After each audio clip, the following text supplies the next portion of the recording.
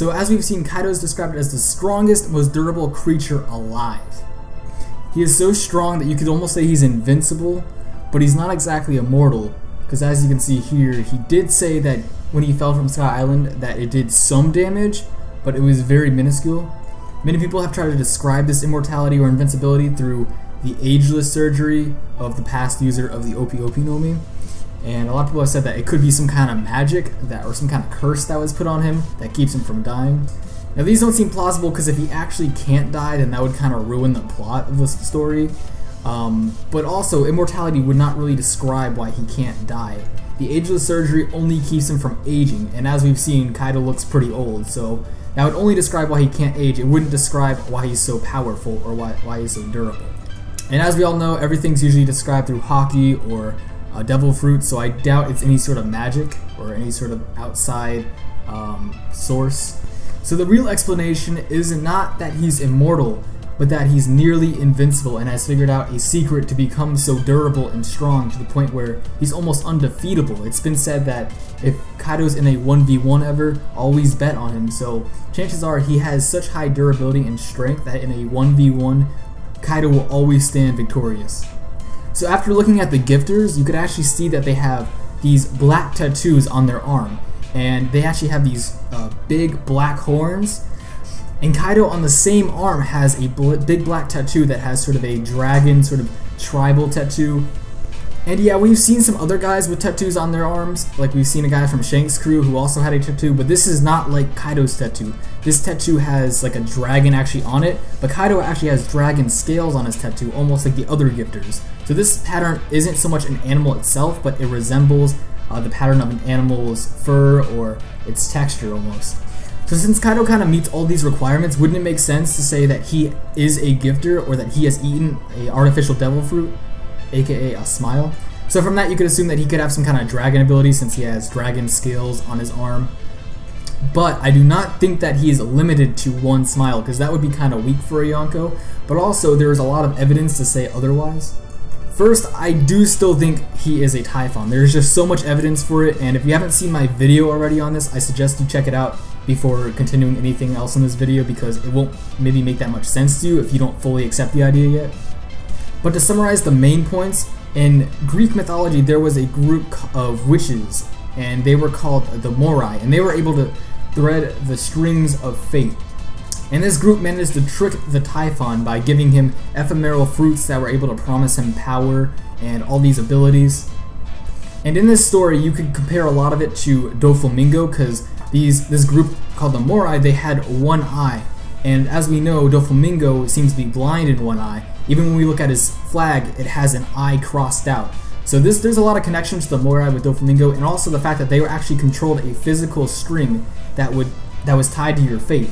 And Doflamingo, he obviously has the string fruit, and he also controls the fate of the black market in a way. Because when he was defeated, everything went into complete chaos. And these ephemeral fruits are very similar to the artificial Zoan fruits that Doflamingo gives to Kaido. And these fruits are not just said to be limited to his army only. These fruits could very well be eaten by Kaido himself. And another similarity is that the Typhon, also named the King of Beasts, he gave birth to an army of monsters and beasts. And Kaido is pretty much the same way. He gave birth to an army of beasts through the Smile Fruit and, and giving birth to these gifters who are able to transform into beasts and monsters. So I have this crazy idea that makes a lot of sense though. Smile does not have a devil in it, so you could technically eat as many smiles as you want. It has not been yet established if you could eat only one. So wouldn't it sort of make sense if Kaido ate a hundred of these smiles, thus why he's called Hundred Beast Kaido? The interesting part about this is that we were introduced to Kaido and given his name around the same time Smiles were introduced to the story. So it's possible that he was that he was named this after he had eaten all these smiles. That's why we never heard of Kaido before all this uh, smile business happened. And also, I don't think he's limited to just one smile, because if you look at his tattoo, it's much more predominant on him than any other gifter. Usually it just takes up the lower part of their arm, whereas with Kaido, it takes up his entire arm and his chest. And also, the Minks actually described the gifters and the, the army that Jack had as being zombies almost because of their smiles. So if smiles give you this sort of durability that allows you to endure many hits, sort of like Moria's army, then it would make sense if smiles are what give Kaido his huge durability, and it's what makes him nearly invincible. So on top of him having a Typhon fruit that could be awakened, he would also have a hundred smiles that'll give him more durability on top of his Devil Fruit awakening. As Crocodile already said that Zoan Devil Fruit awakenings give you higher durability and endurance on a whole different scale. So it would look kind of weird if he had a hundred smiles just in one body. So that's why I think the Typhon fruit is still a possibility because if he has the Typhon fruit, Typhons have hundreds of heads that come out of their bodies, 100 snake heads, serpent heads. So each one of these heads could actually have eaten a smile and will have its own unique animal head or form, as shown on the screen above.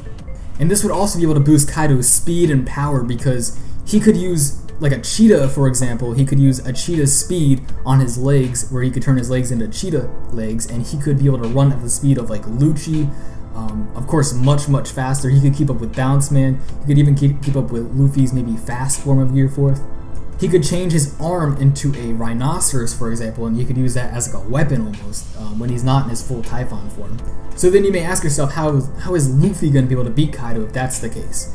So I think sort of like how Crocodile was as um, when we first saw Crocodile as a warlord, we thought Luffy was not going to be able to beat Crocodile because he was too strong. Luffy was a complete newbie at this time, um, and Crocodile was a veteran pretty much, and he was a warlord.